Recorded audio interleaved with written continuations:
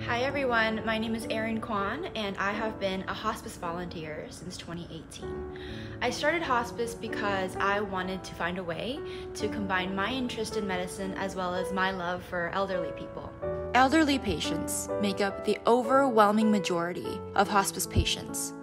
This population is far too often overlooked. My role as a hospice volunteer is to provide companionship and support to patients and their families. I step in when primary caregivers need a break, for example, or during angel hour, which is when patients are in the last few hours before their passing. I am honored to have been invited into the most intimate, painful, and personal moments of the lives of those who've been affected by terminal illness. Through hospice, I have truly grown to be a more uh, compassionate, culturally competent, and patient person. In times of darkness, love is the cure.